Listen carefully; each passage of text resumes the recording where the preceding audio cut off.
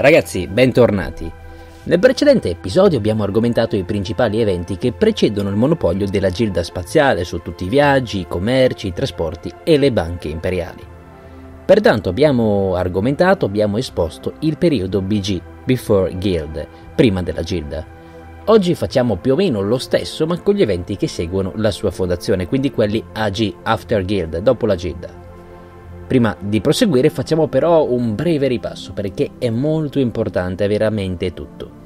Dunque, circa un millennio prima della nascita della gilda spaziale, l'universo era governato da computer e da macchine pensanti, a cui l'umanità aveva affidato ogni tipo di responsabilità.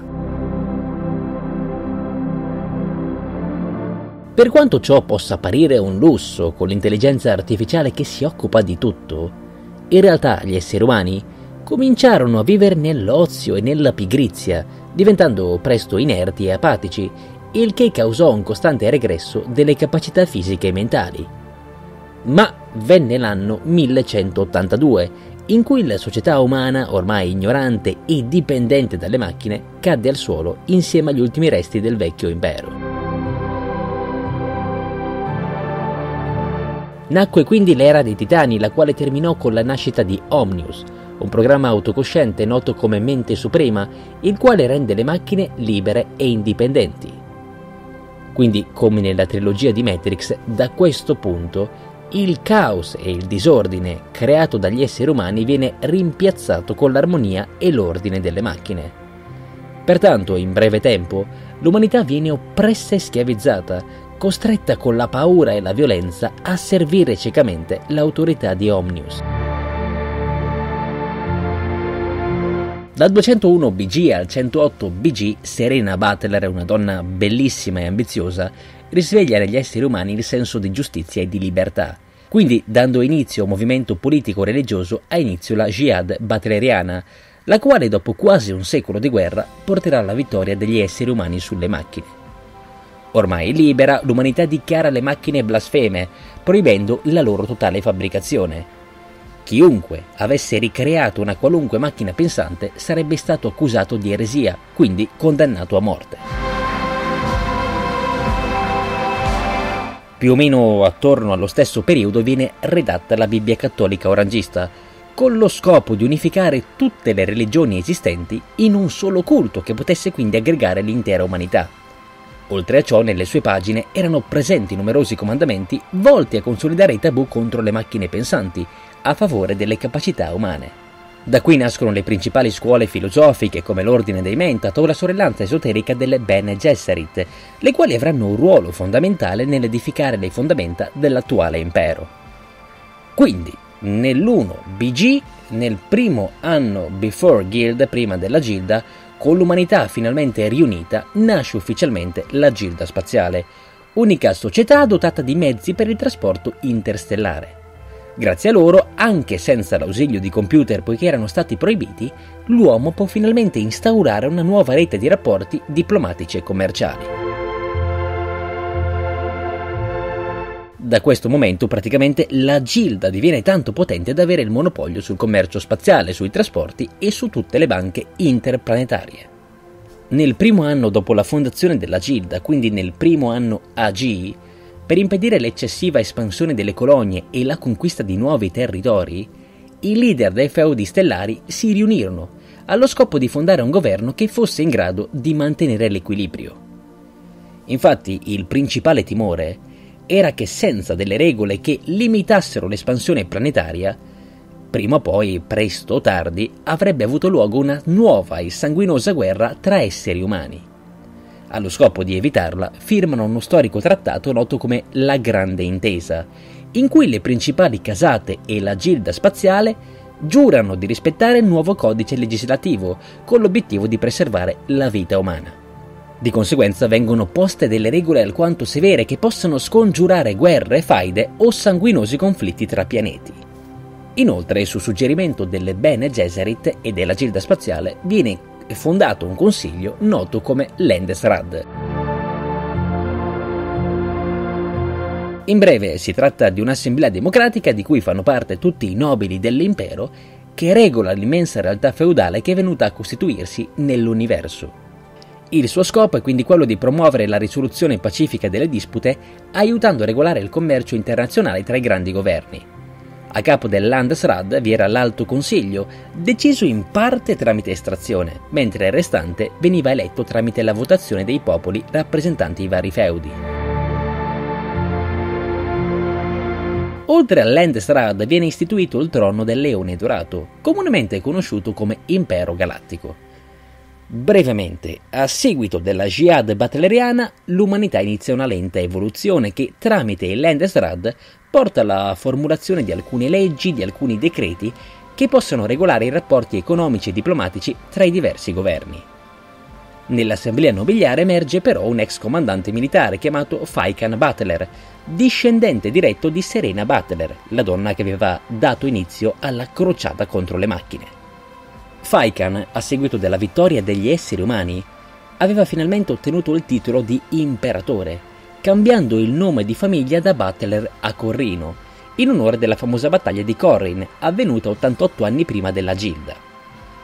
Pertanto la casata Corrino, simboleggiata proprio dal leone dorato, diviene da quel momento la più importante famiglia dell'Endesrad, riconosciuta come imperatori Padisha dell'universo conosciuto.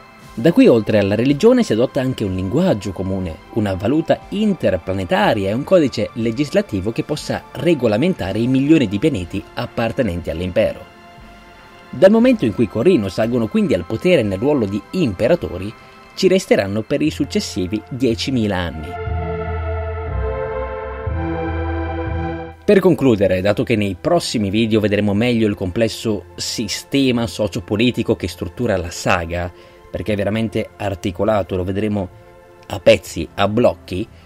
Oggi finiamo con lo spiegare invece come funziona l'equilibrio instauratosi tra le nobili casate. Dunque, al centro abbiamo quindi l'imperatore Padisha, membro della casata Corrino, che è il regnante dell'universo conosciuto.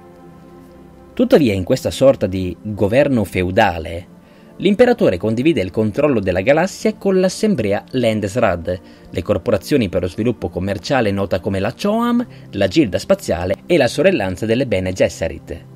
Queste ultime tre, quindi le Bene Gesserit, la Gilda Spaziale e la CHOAM, sebbene siano essenziali per il sistema economico, politico e religioso, si dichiarano ufficialmente neutrali.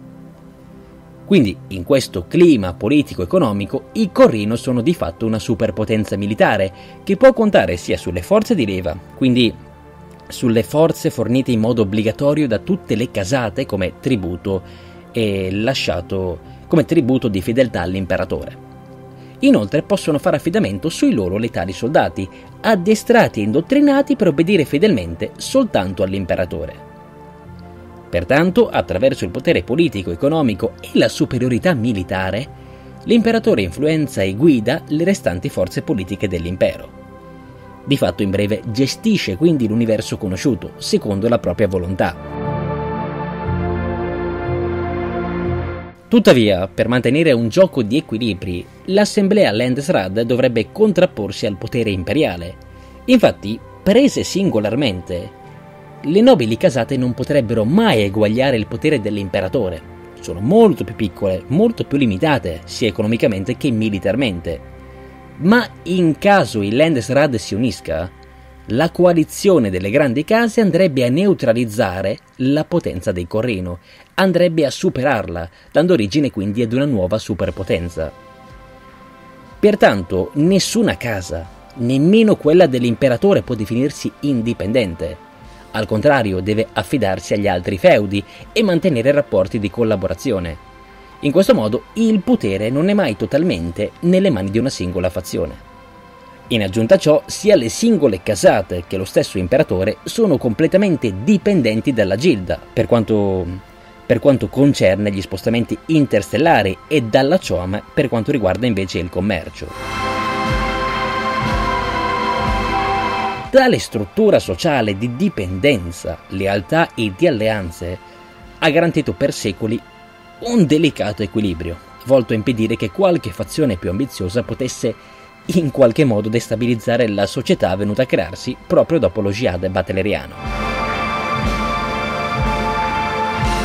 Questo era quindi più o meno il mondo politico che è emerso dal primo anno dopo la Gilda, l'anno 1 After Guild.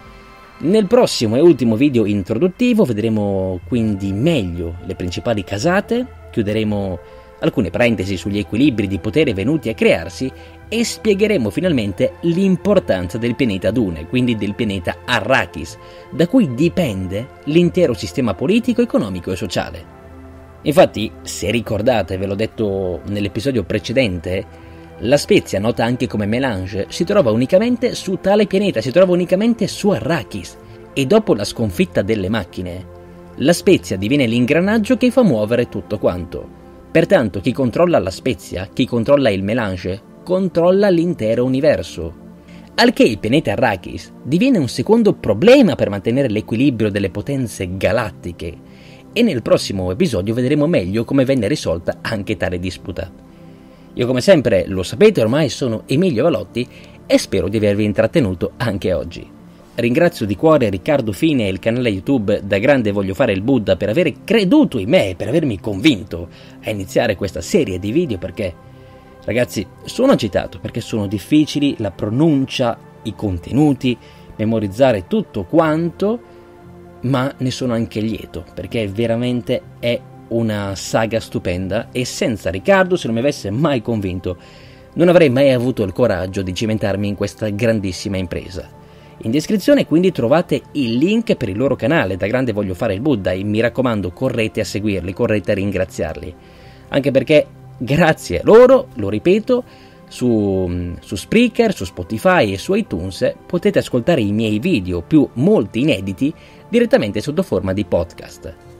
Detto ciò, ragazzi miei, vi attendo alla prossima settimana. Grazie a tutti per avermi seguito.